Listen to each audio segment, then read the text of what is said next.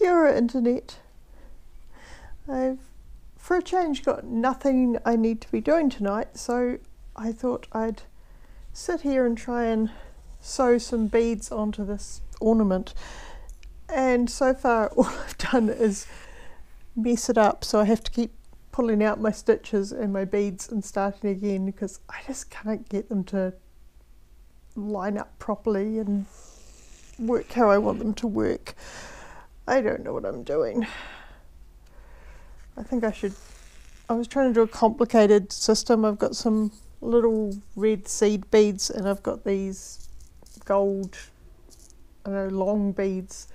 And I was trying to do a pattern with sort of alternating them, but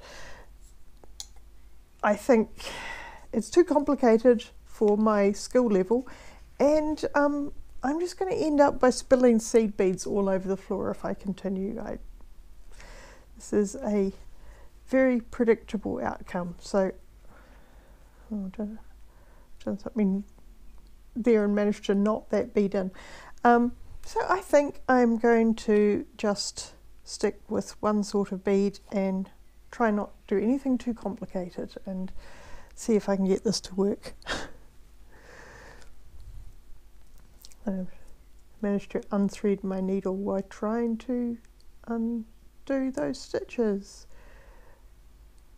Maybe I could just have an ornament with just one bead on it because that's as far as I've managed to get so far and all my attempts have just looked terrible after that one one bead that looked good.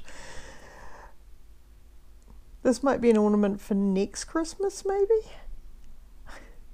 It's definitely not looking good for this one. Oh, now I've sh shredded the thread, I think.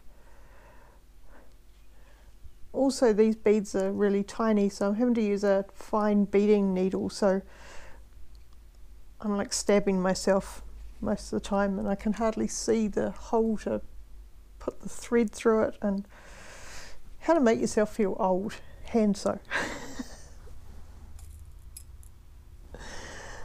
Right, let's try and get another bead on here. We can do this. I'm not quite sure, like, I'm not a hand sewer. I don't know what's the best way to do this because I keep messing it up. And you can't see what I'm doing anyway because it's down on my lap. Oh, and also Parsnips wants to sit on my lap. She keeps coming in here and looking most disgruntled that I'm like won't let her come sit on my lap. And you can imagine the disaster that would happen if we had cat and beads and needles and sharp things.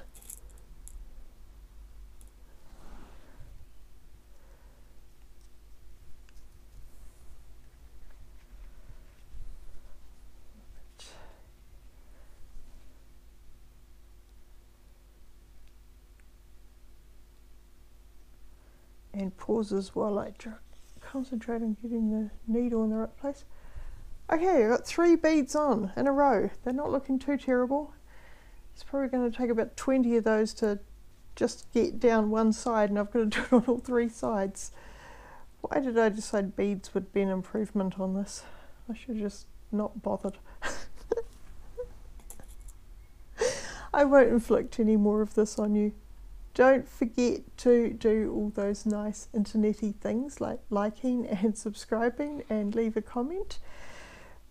Don't leave a comment if you're going to tell me how good you are at beading and how easy it is. Merry Kirihimete Internet.